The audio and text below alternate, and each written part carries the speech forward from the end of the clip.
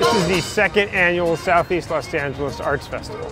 Talking points are here and here. Right at 2 o'clock, we have uh, James Ramos, who is the first California Native American elected to serve on the assembly. To have those three tribes here helps, I think, to kind of provide a lot of context about this area. There aren't that many art festivals in the area, so it's nice to bring some of that into the community and it's nice to share it with everybody. That's what I love about Southeast LA.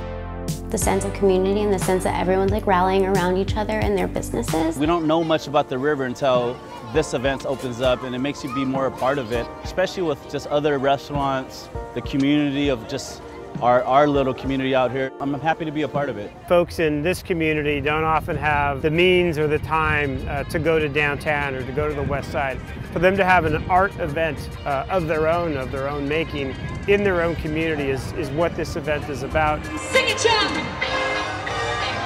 The message behind SELA really like resonated with me and it's a very like direct opportunity for people like myself to like interact and feel like part of a community. This is my first time seeing the river that way and very inspirational to say community people and uh, the camaraderie that's in the community.